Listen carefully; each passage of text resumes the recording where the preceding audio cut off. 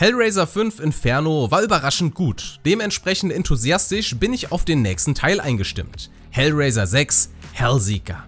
Bevor ich mich da reinstürze, wagen wir doch mal einen kurzen Blick darauf, was das Internet von diesem Film hält. What? Null Punkte auf Rotten Tomatoes? Sogar dieser Müllhaufen von Die Legende von Argen hatte mehr Punkte. Aber gut, wir wissen ja alle, wer glaubt, was im Internet steht, der ist dumm. Deshalb sucht euch alternative Quellen. Fancy Reviews. Ansonsten gibt es über Hellraiser 6 Hellseeker nicht viel zu wissen. Es ist eine Direct-to-DVD-Produktion und angeblich war das Drehbuch gar nicht als Hellraiser-Film angedacht. Pinhead, die Puzzlebox und die Zenobiten wurden nachträglich reingeschrieben, um den Film unter dem Hellraiser-Markennamen erfolgreicher vermarkten zu können. Jupp. Hellraiser. Da steht's. Bei mir hat's also geklappt. Schauen wir doch mal, was der Film zu bieten hat.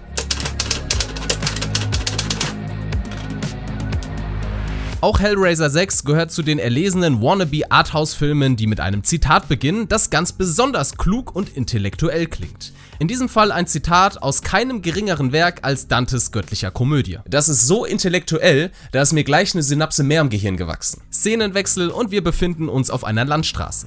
Dort lernen wir ein kicherndes Pärchen kennen. Momentchen mal. Dieses gackernde Huhn, die kommt mir doch bekannt vor.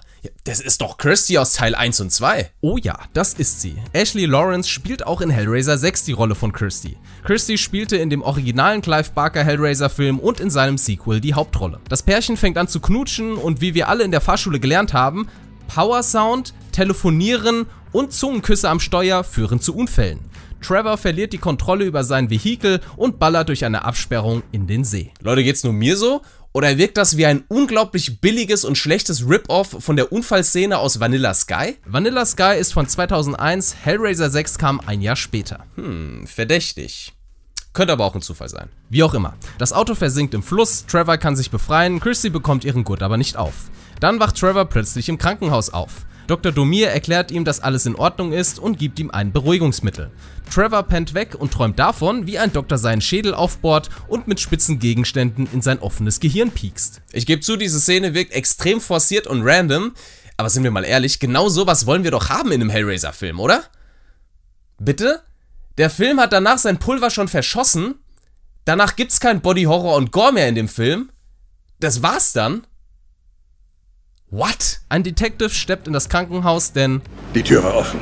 Und erklärt Trevor, dass seine Frau Kirsty verschwunden ist und der Unfall bereits einen Monat her ist. Trevor leidet unter Gedächtnisverlust und kann sich nicht mehr genau an das erinnern, was er seit dem Unfall getan hat. Trevor fährt mit dem Bus nach Hause und lasst uns alle mal kurz festhalten, wie billig und gleichzeitig hässlich dieser Film aussieht. Der ganze Film hat einen ganz unangenehmen Grünstich und die Kostüme, naja, eigentlich ist es ja Alltagskleidung, sehen aus, als stammen sie aus einer Verkleidungskrabbelkiste, die im Gemeinschaftsraum einer Jugendherberge steht. Trevor erlebt im Bus eine alltägliche Episode, wie wir sie alle zu Genüge kennen. Eine creepy Oma strickt etwas und ein Nazi-Rocker hört super laut Musik. Das gefällt Trevor natürlich gar nicht und er ermahnt den Störenfried. Können Sie das bitte leiser machen? Bälle wie ein Hund. Du imitierst damit den Rocker-Typen, der eine Ausstrahlung hat wie ein Pitbull. Das ist sehr witzig, dein Publikum wird das lieben. Aber Junge, bist du bescheuert? Das kapiert doch keiner. Trevor kommt nach Hause und wird vor der Tür von einem Hund angekläfft. Alter, ich werde hier nicht bellen. Nein. Nein, nein, nein, nein! Trevor geht in seine Wohnung, schnappt sich ein Bild von ihm und Kirsty und schwelgt in Erinnerungen. Also in den guten, wesentlichen Erinnerungen von seiner Ehe mit Kirsty, als Körperflüssigkeiten ausgetauscht wurden. Hey, mach das Licht aus. Leute, wie alt seid ihr? 16? Sex im Dunkeln? Da verpasst man doch das Beste. Am nächsten Tag geht Trevor zu seinem 0815 Shitty Großraumbürojob. Nach einem kurzen Smalltalk mit seinem Kollegen Dean sieht er zufälligerweise eine kleine Visitenkarte an seinem Pinboard. Dies bringt Harrys Narbe zum Schmerzen und bringt eine verborgene Erinnerung zurück. Dort wandert er durch eine verdreckte Lagerhalle und trifft auf einen mysteriösen Mann. Ich kann in deine Seele sehen. Trevor wacht wieder auf und entschließt sich erstmal was zu snacken. Am Süßigkeitenautomat trifft er auf seine Chefin, die erstmal gehörig zupackt und ihre kinky Fantasien mit ihm teilt. Die superheiße Chefin, mit der die Gehaltsverhandlungen in horizontaler Position geführt werden. Eine klassische Männerfantasie. Es stellt sich heraus, dass Trevor eine Affäre mit seiner Chefin hatte, daran kann er sich aber nicht mehr erinnern, weil er ja Amnesie hat. Trevor wird auf die Polizeiwache bestellt und der Detective stellt seltsame Fragen. Trevor vermutet, dass er verdächtigt wird, seine Frau umgebracht zu haben, ohne Leiche kann man ihm aber nichts nachweisen. Wieder zu Hause bemerkt er, dass ein Creep von gegenüber ihn beobachtet. Trevor beginnt zu husten und hat einen Frosch im Hals. Pardon, eher einen Aal im Hals. Ich dachte, den Aal hat eher seine Chefin im Hals.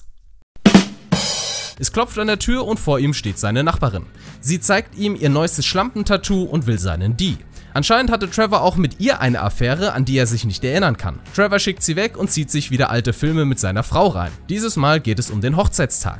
In dem Video gibt er Christy ein kleines, quadratisches, unbekanntes Geschenk. Hm, was könnte das wohl sein? Kurz darauf kommt seine Chefin vorbei und will auf Trevor reiten. Du bist ein böser Junge. Leider ist Trevor nicht so böse, wie sie denkt und er wirft die halbnackte Reiterdame erst von seinem Schoß und dann aus seiner Bude. Nachdem seine Chefin gegangen ist, sieht Trevor auf der Kamera, die ihre Reitstunden filmen sollten, wie seine Chefin von Zenobiten umgebracht wird. Mysteriös. Nur, um kurz darauf wieder überrascht aus einem Tagtraum aufzuwachen. Gestresst und verwirrt begibt sich Trevor zu einer Alternativmedizinerin und gönnt sich eine Akupunktur. Habe ich Medizinerin gesagt? Streich das. Er bekommt wieder Flashbacks von dem zerzottelten Typen. Der hat ihm offensichtlich eine magische Box verkauft. Dieses Musikpuzzle wurde von einem Franzosen erschaffen. Er hieß Le Marchand. Das ist übrigens der gleiche Le Mergent, den wir aus Hellraiser 4 Bloodline kennen. Und spätestens jetzt kapiert auch der Letzte, dass Trevor wohl irgendwie die Puzzlebox geöffnet haben muss und Pinhead beschworen hat. Da Pinhead einen Fetisch für Schmerzen und spitze dünne Gegenstände hat, die in menschlichen Körpern stecken, besucht er Trevor bei der Akupunktur. Er droppt ein bisschen Sadomaso Trash Talk Ich persönlich ziehe Schmerz der Freude vor. und treibt Trevor eine Nadel durch den Hals. Aber auch das war natürlich wieder nur ein Tagtraum. Ein Detective auf der Polizeiwache nimmt Trevor in die Mangel und wirft ihm vor, dass er seine Frau getötet hat, um an ihr Vermögen zu kommen. Wieder zurück in seiner Wohnung glotzt Trevor ein paar Brüste durch seine Wohnungsfenster an und seine Nachbarin kommt für etwas Sexy Time vorbei. Als es gerade wild wird, taucht aber ein Zenobit auf, schnallt Trevor einen kinky Maulkorb um und boom! Er wacht schon wieder auf und hat alles nur geträumt. Ich habe geträumt, dass ich Hellraiser 6 reviewe, obwohl das ein mega schlechter Film ist. Nein. Nein. Nein! Trevor findet seine Chefin tot in seiner Wohnung, Pinhead taucht kurz in seinem Spiegel auf und kann ihn beruhigen. Alle Probleme sind gelöst. Trevor besucht danach seine Nachbarin, allerdings ist ihr Boyfriend zu Hause, weshalb Trevor, die kleine Pussy, lieber wegtöltet. Trevor ist wieder auf der Polizeiwache, sieht eine Menge weirdes Zeug, zum Beispiel einen Typen, der einen Origami-Kurs bei Pinhead himself gemacht hat und besucht danach Dr. Domir. Zurück im Büro nimmt ihn der Detective in die Mangel, ein fetter Mann zieht sich Süßigkeiten aus einem Automaten Super random. Und Trevors Arbeitskollege macht einige konspirative Andeutungen. Wovon ich rede, Mann? Ja, von dem Geld. Tu nicht so, Kirstys Erbschaft. Ich rede von dem Plan. Harrys Narbe beginnt schon wieder zu schmerzen und Trevor hat einen Flashback. Dann sieht er, wie Kirsty die Puzzlebox öffnet, das war sein Geschenk an sie, und danach ausflippt. Was ja klar ist, Kirsty kennt die Puzzlebox schon aus Hellraiser 1 und 2 und weiß ganz genau, was es damit auf sich hat und warum Trevor ihr das Ding schenken will. Trevor haut vor Wut eine Scheibe ein und verletzt sich an der Hand. Auf diesen Schock tut er das einzig Rationale. Er besucht die Akupunkteurin. Nachdem die ihn mit ihrer Nadel gestochen hat, darf auch er seine Stecknadel in sie hineinstechen. Moment mal, was ist in diesem Film eigentlich los? Warum wollen da alle Frauen mit Trevor schlafen? Der Film sollte nicht Hellraiser 6 heißen, sondern eher Trevor hat Amnesie und alle Frauen wollen seinen Pimmel haben. Aber wisst ihr, was das Traurigste daran ist? Die sind nicht mal nackt dabei. In sämtlichen Sexszenen tragen alle Beteiligten Unterwäsche. Wir sind auch hier in einem Hellraiser-Film. Die dürfen ultra brutal und voller wollüstiger Grenzerfahrungen sein. Wir wollen Brüste, Penisse, Blut und andere Körperflüssigkeiten sehen. Aber nein, dieser Film ist sogar ab 16 Jahren freigegeben. Pinhead mit Schwimmflügeln im Freischwimmerbecken. Get the fuck out of here. Aber ich schweife ab. Trevor und seine Akupunkteurin haben also ein bisschen prüden Trockensex, doch plötzlich rammt sie ihm einen Eispickel in den Kopf. Aber ihr habt's bestimmt schon erraten, auch das war wieder nur ein Tagtraum. Trevor ist im Bus weggepennt und kommt ins Krankenhaus. Da stellt sich heraus, dass er sich die Ärztin Alice Dormier nur eingebildet hat. Allison? Ja, Alison Dormier. Sie ist die Assistenzärztin. Wir haben hier keine Assistenzärztin, die Allison heißt. Oh wirklich, Alison Dormier, Dormier war eingebildet? Wer hätte das nur kommen sehen? Für diejenigen, die weder Latein noch Französisch in der Schule hatten, dormiere bzw. dormir bedeutet schlafen. Trevor flippt aus und rennt in die verlassene Lagerhalle, um nach dem Typen zu suchen, der ihm den Würfel verkauft hat. In einer Pfütze trifft er auf Pinhead. Trevor vermutet, dass Pinhead alle umgebracht hat und es ihm in die Schuhe schieben will. Das sieht unser Lieblingsnagelkopf aber anders. Du hast recht. Einer von uns beiden war es. Ja. Pinhead impliziert hier sehr deutlich, dass Trevor Kirsty und seine Chefin umgebracht hat. Merkt euch diese Szene, die brauchen wir später nochmal. Draußen trifft Trevor auf seinen Arbeitskollegen. Unfassbarerweise wird der Plot jetzt noch dümmer und noch dünner. Der eröffnet ihm, dass die beiden eine Abmachung hatten. Der Plan war, sie täuschen einen Autounfall vor, töten Kirsty, Trevor erbt ihr Vermögen und sie teilen das Geld auf. Trevors Kollege denkt, dass er den Plan alleine durchgezogen hat und ist deshalb wütend. Also nochmal zusammengefasst. Trevors Arbeitskollege hat absolut nichts Illegales getan, außer vielleicht, dass er Mitwisser ist. Er hatte weder mit Kirstys Verschwinden oder ihrem Tod irgendetwas zu tun. Was wäre eine angemessene Reaktion darauf? What? Trevor rennt zu seiner Akupunkteurin, findet sie aber tot in ihrer Praxis. Offensichtlich hat er sich von seinem Arbeitskollegen abgeschaut, wie man dumme Entscheidungen trifft, denn das erste, was er tut, ist den Eispickel, der ihr im Kopf steckt, aus ihr herauszuziehen. In diesem Moment kommt die Polizei hineingestürmt und sieht eine Leiche und Trevor hat die Mordwaffe in der Hand. Vollidiot. Trevor kommt zur Polizei. Die erklärt ihm, dass sie Kirstys Leiche gefunden haben und Trevor soll sie identifizieren. Der Detective sperrt ihn in ein Kellergewölbe, davor wächst ihm aber noch ein zweiter Kopf aus der Schulter, der irgendwas über Gut und Böse faselt. Dazu zwei Anmerkungen. Erstens, der Typ sieht aus wie Charlie aus Man in Black 2 und zweitens, die beiden Cops, die Trevor auf dem Revier verhört haben, waren also dieselbe Person. Die haben im wahrsten Sinne des Wortes die guter Cop, böser Cop Nummer durchgezogen. Auf eine verquere, hellraiserische Art und Weise eben. Trevor findet die zugedeckte Leiche von Kirsty, da taucht Pinhead auf. Es gibt zum ersten Mal klassische Hellraiser-Ketten-Action und im großen Twistende erklärt ihm Pinhead, was genau abgeht. Trevor hatte Kirsty die Puzzlebox geschenkt, um sie loszuwerden. Außerdem hatte er diverse Affären. Kirsty hatte wissentlich die Puzzlebox geöffnet, allerdings hat sie ja bereits in den ersten beiden Teilen bewiesen, wie gut sie mit Pinhead verhandeln kann. Wartet, bitte wartet! Für Diskussionen bleibt keine Zeit. Ich kann euch zu ihm führen! Und ihr könnt ihn an meiner Stelle wieder mit zurücknehmen! Warte, Keine Verhandlungen, Kirsty. keine Tricks. Nur Information. Also gut. Auch dieses Mal gelingt es ihr, einen Deal mit Pinhead auszuhandeln und sie verspricht ihm fünf Seelen zu sammeln, wenn Pinhead sie dafür laufen lässt. Kirsty tötet also alle Liebhaberinnen von Trevor und seinen Arbeitskollegen. Danach erschießt sie Trevor während der Autofahrt und ihre Schuld gegenüber Pinhead ist damit beglichen. Trevor war also die ganze Zeit schon tot, Kirsty war nie das Opfer und unter dem Leichentuch vor Trevor liegt auch nicht Kirsty, sondern er selbst. Willkommen im schlimmsten Albtraum von allem. Der Realität. Eines muss man dem Film aber lassen, Pinhead ist recht gut inszeniert und der Schauspieler Doug Bradley macht wie immer einen soliden Job. Warum funktioniert dieser Film aber so schlecht als Plot-Twist-Film? Stichwort Red Herring. Red Herring ist eine englische Redewendung und bezeichnet ein Ablenkungsmanöver. In Plot-Twist-Filmen gibt es immer Red Herrings, um uns auf die falsche Spur zu bringen.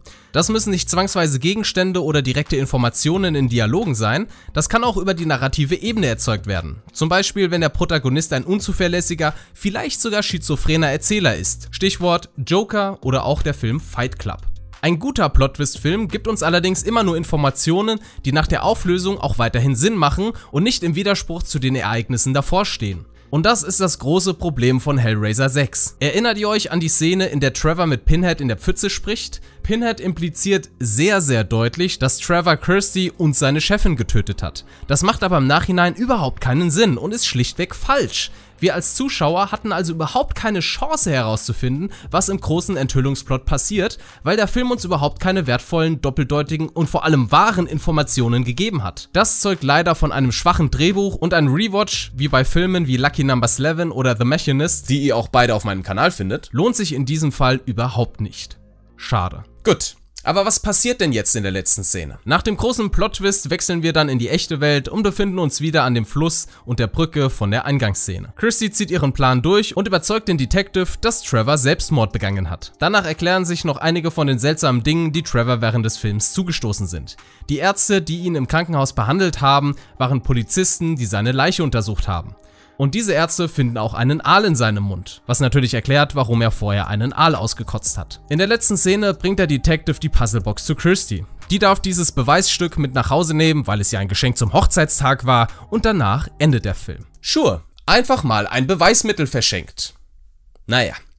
Kommen wir zum Fazit und der Bewertung. Hellraiser 6 Hellseeker ist in allen Belangen absoluter Durchschnitt. Die Handlung ist mittelmäßig, die Schauspieler sind okay, Pinhead ist ganz in Ordnung inszeniert und das Plot-Twist-Ende überrascht sogar ein kleines bisschen. Aber reicht das, um als Hellraiser-Film zu überzeugen? Nein. Dem Film fehlt eine Seele, die Liebe und die Leidenschaft. Auf mich wirkte der Film, als hätten da alle Beteiligten Dienst nach Vorschrift gemacht.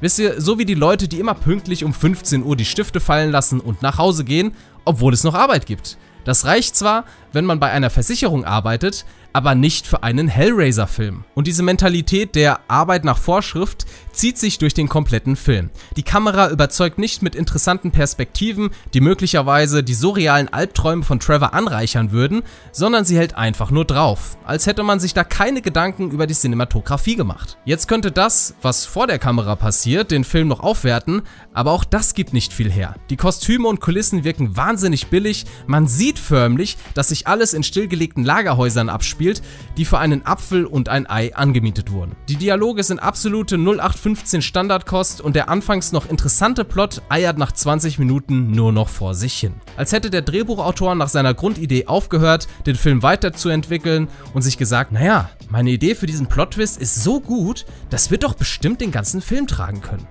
Tut es nicht. Was ich loben muss, Pinhead ist gut inszeniert und die Special Effects wirken solide im Vergleich zu dem Look des restlichen Films. Der Film bietet nicht mal gute Kost für Gore- oder Splatter-Fans und als Mystery-Mindfuck-Film ist das Skript viel zu anspruchslos. Hellraiser 6 Hellseeker ist keine Vollkatastrophe, aber eben auch kein Hingucker. Eben Durchschnitt und wer will sich schon gerne die Zeit nehmen, etwas Durchschnittliches zu erleben? Richtig, niemand. Daher gebe ich Hellraiser 6 4 von 10 Punkte. Das war Hellraiser 6 Hellseeker. Wenn ihr meine anderen Reviews zu den Hellraiser-Filmen sehen wollt, dann klickt ihr hier oben hin. Hier gibt es noch ein anderes Video und ihr solltet diesen Kanal abonnieren. Dann ziehe ich euch jede Woche ein kleines Stückchen näher an die Hölle. Aus der ihr dann jetzt zurückkommt, weil Hellraiser, der kommt ja aus der Hölle, Hölle zurück ins Lebensreich und so. Ja. Wie auch immer, ich bedanke mich für eure Aufmerksamkeit. Wir sehen uns kommende Woche. Bis dahin, auf Wiedersehen.